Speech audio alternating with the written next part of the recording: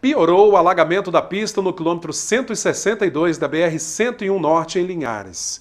Congestionamentos têm se formado no local onde foi feito um desvio para automóveis. Isso porque apenas caminhões e ônibus estão passando pela pista central. O repórter Will Souza foi conferir e tem mais informações.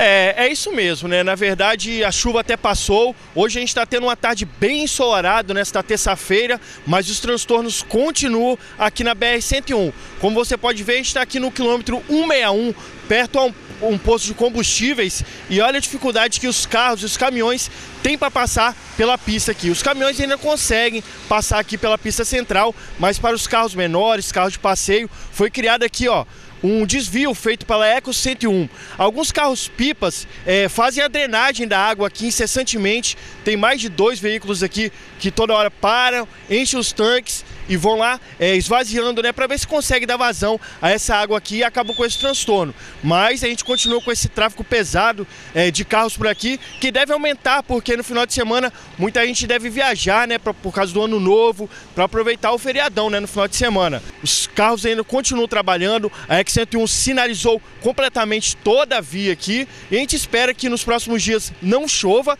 e que a situação se resolva finalmente. Bom, eu devolvo para vocês aí no estúdio. Obrigado ao repórter Will Souza pelas informações. Vale lembrar que na tarde passada o congestionamento foi ainda pior. Muita gente voltando de viagem, né? Foi passar o Natal na região norte do Espírito Santo, acabou aumentando o fluxo de veículos. Teve gente que perdeu a placa, né? Uma das placas do carro ao passar pelo desvio, que está cheio de buracos. Quem perdeu uma dessas placas pode procurar a Polícia Rodoviária Federal aqui de Linhares.